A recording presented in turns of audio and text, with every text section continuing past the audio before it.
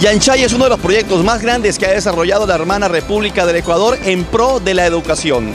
Se trata de una ciudad planificada para la innovación tecnológica. Cuenta con alrededor de 4.500 hectáreas.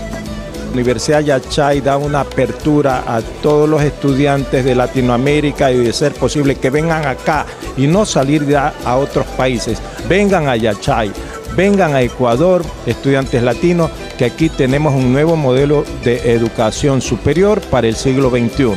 Este maravilloso proyecto fue asistido por profesionales coreanos.